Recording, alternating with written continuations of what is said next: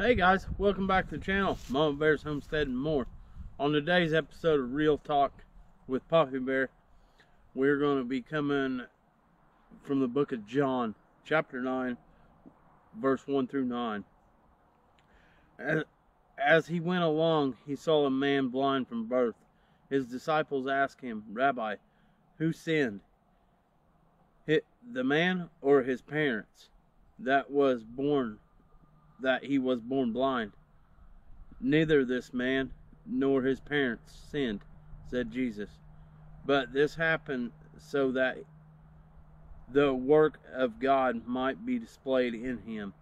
As long as it is day, we must do this works of him who sent me. Night is coming when no one can work while I in the world I am the light of the word. After saying this, his spirit on the ground, he spit on the ground, made some mud with his saliva, put it on the man's eyes. Go, he told him, wash in the pool. So the man went and washed and came home seeing. His neighbors and those who had formerly seen him begging, asked, Isn't this the same man who used to sit and beg? Some claimed that he was, others said, No, he only looks like him. But he himself insisted, I am the man. How then were your eyes opened? They asked. He replied, The man they called Jesus made some mud, put it on my eyes, and told me to wash. So I went and washed it, and then I could see. Where where is this man? They asked. I don't know, he said. What I get from that, guys, is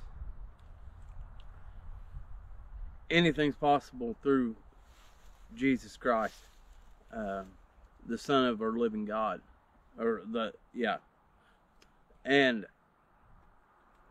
you know, even though the people were like, well, he begged and all that, they were overlooking the message.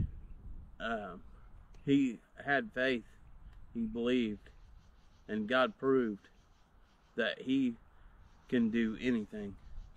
And that, that, and that's what I want to talk about is, you know, I've done a lot of things in my life, but I don't, bad things in my life.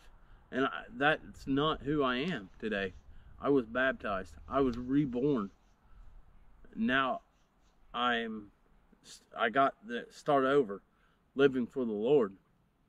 And I just want other people to not think that it's too late or nobody cares. Because there's a lot of people out there that care. Uh, our whole congregation cares. Um,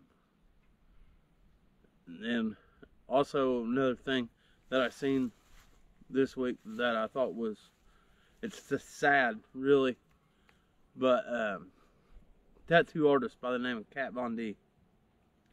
She has proclaimed her religion in Christ and been baptized. She, um, you know, called called out the witchcraft, called out all the uh, devil worshippers, and she's taking a lot of flack, guys. And you know, she says the most flack she's got from Christians. That's sad. Because I believe that no matter what you look like or who you are, you have you have every opportunity to give your life to the Lord, no matter what and we shouldn't judge. We should be opening her arms, or opening our arms to her to bring her to the Father. And I'm so glad that she's done that. And, you know, she closed her tattoo parlor. She's, you know, she's all in for God now. Uh, she, she's a wonderful person, you know. Uh, don't matter what her past was. Uh, you know, that's goes back to the addiction thing. Um, mirror, rear view mirror is smaller than the windshield. Why? You've already been that direction. You ain't headed that way. You're headed forward. Don't worry about the past. Worry about your future. Plan for tomorrow. Tomorrow's not promised. Uh, the past. There's another good one I really like. Um, yesterday was the past. Tomorrow was the future. That's why today is the present. Uh, it is the present. You know, uh, a lot of people always ask me, Dirk, how are you doing? And 90, 98% of the time, you're going to get better than I deserve. All I deserve is to wake up. Yeah, that's, I mean, what more can I really ask for?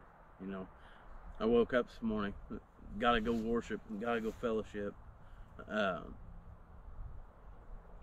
and, you know, got to see my church family. My heart's full.